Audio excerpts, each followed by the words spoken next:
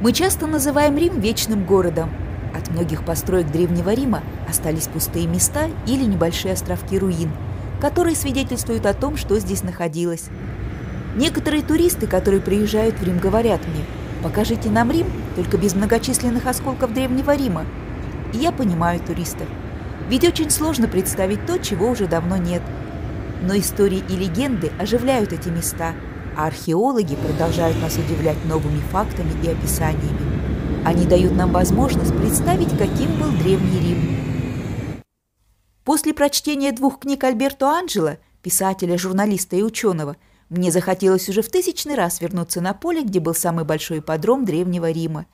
Здесь проходили соревнования на колесницах. Сейчас мы видим только поле, и в одной части поля стоит небольшая башня, а рядом виднеются остатки трибун, это остатки большого цирка времен Трояна. Троян был императором с 98 по 117 год. История же цирка началась намного раньше. Можно было начать рассказ про историю этого места с основания Рима и братоубийства, с похищения сабинянок, но мне сегодня хотелось представить большой цирк времен Нерона, от которого после большого пожара 64 года ничего не осталось. Многие монументы Древнего Рима, которыми мы сегодня восхищаемся, все они были построены после пожара 64 года. Вот простой пример. Например, после пожара Нерон построил Золотой дом. Без него бы на этом месте, может быть, никогда бы не появился и Колизей. Римский форум был совершенно другим. Сложно представить последствия трагедии пожара, который длился 9 дней. Рим в то время был многонаселенным античным городом – и за эти дни он просто сгорел дотла. Мало что известно, каким был Рим до пожара, но благодаря кропотливой работе археологов кое-какие факты вырисовываются. Как написано в книге Альберто Анджело, Рим во времена Нерона был не из мрамора, а был деревянный, с темными переулками, узкими извилистыми дорогами, и это уже объясняет многое. В книге также описано, как и где произошло возгорание, и все эти факты были установлены благодаря труду археологов. Именно в этой части Большого цирка начался большой пожар –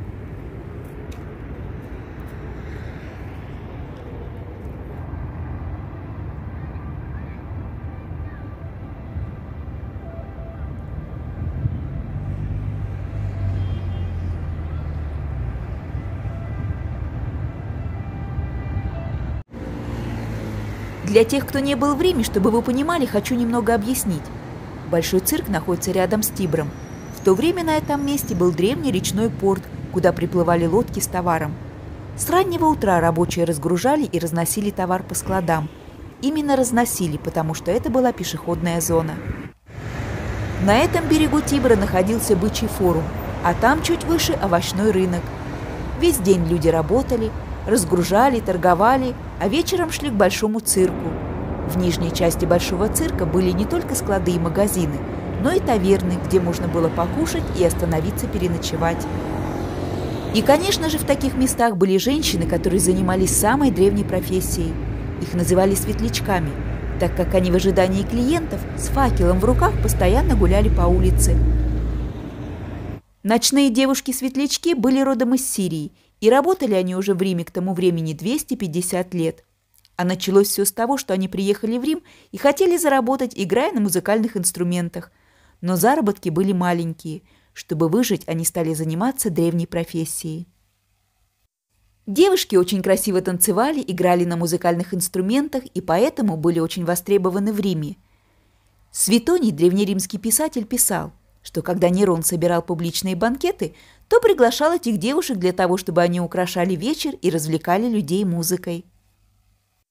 Также возле Большого цирка в вечернее время собирались гадалки.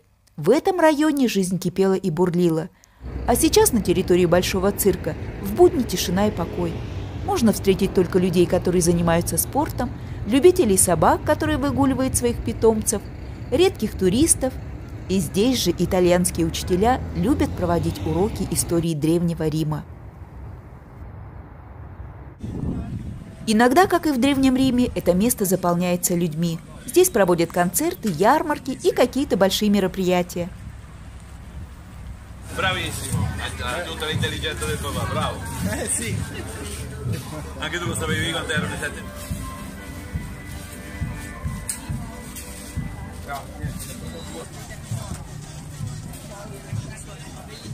Мы знаем, что трибуны цирка были высокие, а внизу находилось 120 комнат. В них размещались склады, магазины с множеством товара, работали портные по пошиву одежды, где шили одежду не только для простого народа, но и для элиты. Большой цирк можно сравнить с самым большим торговым центром Древнего Рима. Это место, где на скачке собиралось много народу, а потом после скачек народ мог купить себе что-нибудь в магазине.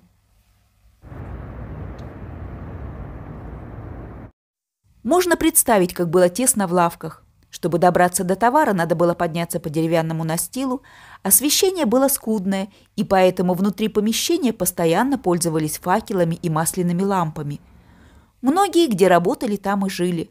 Матрасы были набиты сухой соломой, и поэтому одно неудачное движение с огнем, и начинался пожар. Пожары были частым явлением в Риме, и чтобы их вовремя остановить, еще при августе был сформирован патруль пожарных. Сначала их было не так много, а потом количество пожарных увеличилось. Их казармы находились в каждом районе города. Патруль отвечал за определенную территорию. Работа заключалась в том, что они каждый день и ночь патрулировали и проверяли пожарную безопасность в городе. Но в тот момент, когда произошло возгорание 18 июля 1964 года, Пожарников рядом не было. Огонь начал быстро распространяться и превратился в бешеное пламя. В истории часто обвиняли Нерона в поджоге. Эта версия появилась сразу после пожара. Но здесь много противоречий и тайн. Нерон – сложная, капризная, непредсказуемая фигура, и о нем надо говорить отдельно. До пожара народ любил Нерона. Он, насмотревшись на ошибки предшественников, понял, что хлеб в Рим должны поставлять бесперебойно. Полей в Риме было очень мало, и поэтому зерно всегда поставляли морем из Египта, Испании, но всего 6 месяцев. В плохую погоду с октября по октябрь поставки зерна останавливались. Ни один император не уделял столько времени этой проблеме, как Нерон. Нерон планировал проложить новые каналы от моря к Риму, чтобы поставки хлеба были все 365 дней. Сначала зерно поставляли в морем в Поцуле, а потом по каналам в Рим. Он четко следил за поставками зерна, снижал цену на хлеб. В Риме были специальные склады с зерном, запасами которого могли пользоваться только тогда, когда все склады были пустые из-за перебоя поставок. Такие склады с запасом зерна на черный день спасли Рим от голода. Вы только представьте, сколько народу в то время было в Риме. У женщин, которые имели четырех детей, были льготы на хлеб. Нерон вознаграждал многодетные семьи. До пожара 1964 года, по данным книги Альберто Анджело, в Риме проживало от 800 тысяч человек до миллиона 200 тысяч. Это был самый большой город прошлого.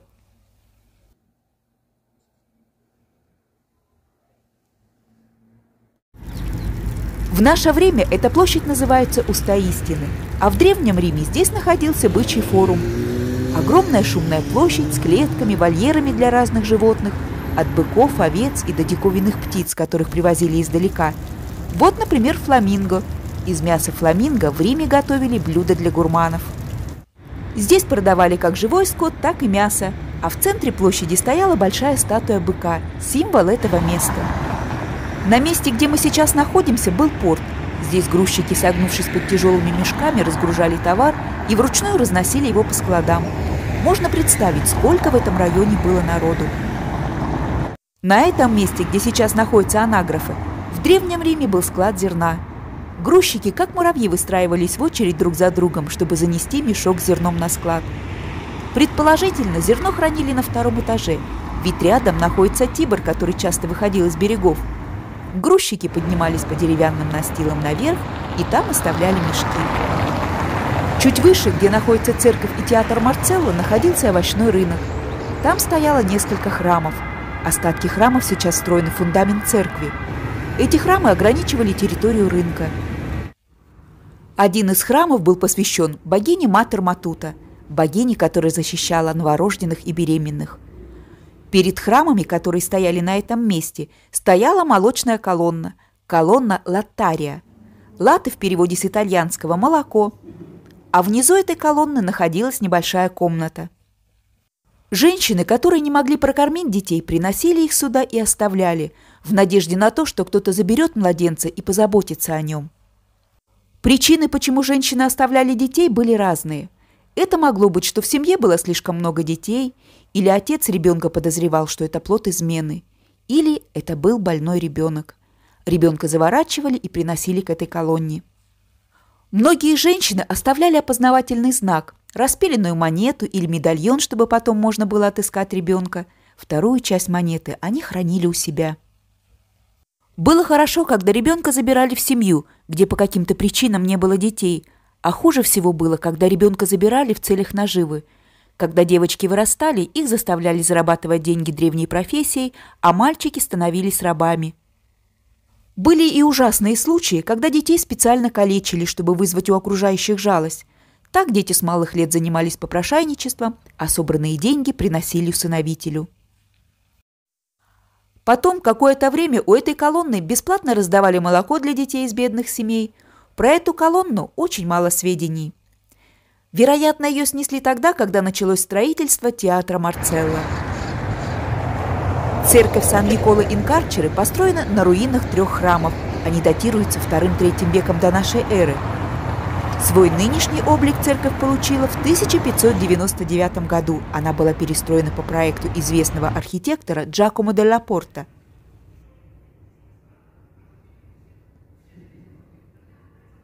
В подвалах церкви до сих пор находятся подиумы, на которых стояли три храма. Также внизу нашли небольшую комнату. Видимо, это была тюрьма. Отсюда и название церкви «Святой Николай в темнице». Существует легенда – что когда в тюрьме сидел мужчина, к нему каждый день приходила дочь, которая недавно стала мамой. Ее обыскивали, чтобы она ничего не приносила в тюрьму, а потом запускали. Но однажды ее поймали в момент, когда она кормила отца грудью. Все были поражены преданностью и находчивостью девушки. Потом рассказывают, вроде бы этого мужчину отпустили, и всей семье назначили пожизненную пенсию. В эпоху Возрождения на тему этой легенды было написано очень много картин.